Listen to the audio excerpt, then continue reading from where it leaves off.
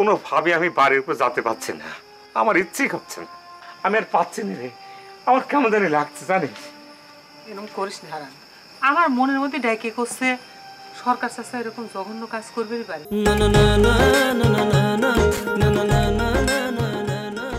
সারা দিন তো মনে কয় খাওয়া দাওয়া কিছু হয় না তাই না হারান ক্ষুধা তৃষ্ণা সব নাই হয়ে গেছে রে হালদা বুকের মধ্যে কিরাম যেন দম আটকে আসতেছে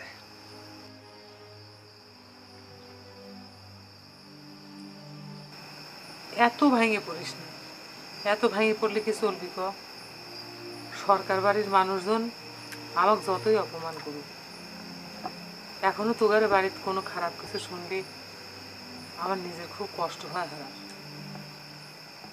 আমি জানি রে তোর খুব কষ্ট হয়। কিন্তু সরকার বাড়ির বিপদের কথা শুনলে এই গ্রামের অনেক মানুষ আবার খুব খুশি হয়। তুই খালি গ্রামের মানুষের দোষ দিচ্ছ কিসের জন্য হারান? তুগারে বাড়িতে খোঁজলি দেখে গা।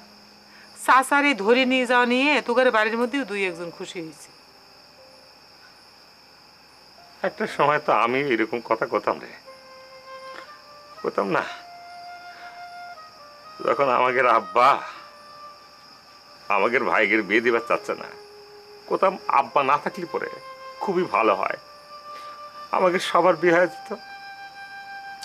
কিন্তু আব্বাকে ধরে নিয়ে যাওয়ার পর থেকে বিশ্বাস কর, একদম ভালো লাগছে না। কোনোভাবে আমি বাড়ির উপর যেতে পারছি না। আমার ইচ্ছেই করছে না। আমি আর পাচ্ছি না রে। আমার কেমন জানি লাগছে, জানিস? এরকম করিস না আমার মনের মধ্যে ডাইকে করছে সরকার চাষা এরকম জঘন্য কাজ করবে পারে না।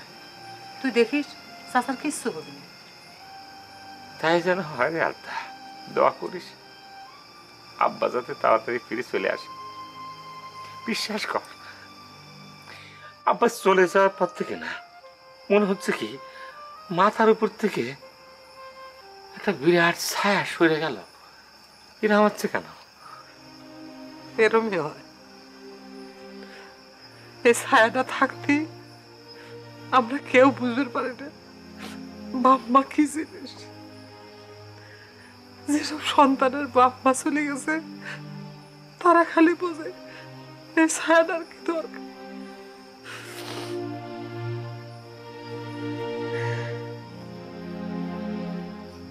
তোর ভগ্নিপতি ফারুক না এত ক্ষমতাশালী লোক? তার কথায় নাকি পুলিশ উঠা বসা করে। তার সামনে দিয়ে চাচা কিরম করে ধরে নিয়ে গেল। এর খবর আর কি খবর এমনও হতে পারে। জুরনের সাথে মানিক জোর হয়ে কি করছে কে জানে।